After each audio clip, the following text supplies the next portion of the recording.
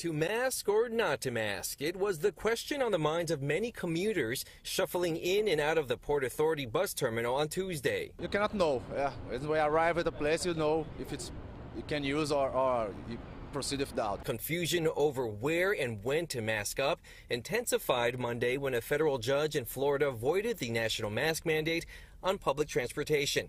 That led the TSA to announce that it will no longer enforce the mask requirement, and soon a domino effect occurred. Among the transit agencies lifting mask mandates and now making them optional include New Jersey Transit, Amtrak, New York Waterway, and ride sharing apps like Uber and Lyft outside of New York City. Mask mandates were also lifted on several major airlines overnight. The news leading this group of passengers to cheer mid flight. Masks now optional for employees, customers following the White House.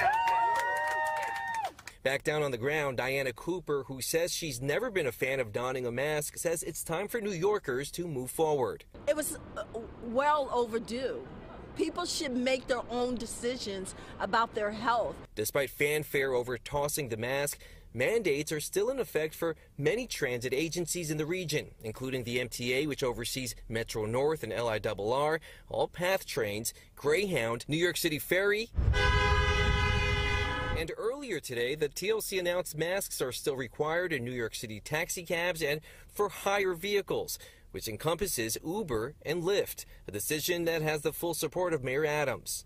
New York is unique. It's, we are densely populated.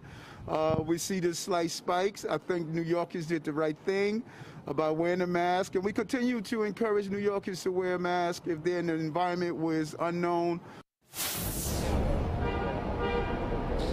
Now, the Port Authority also updated their guidelines at their transit facilities, those facilities here in New York, like the Port Authority uh, bus terminal and JFK and LaGuardia. Masks are required, but if you jump over the Hudson over to New Jersey, their transit facilities like Newark Airport, masks are now optional.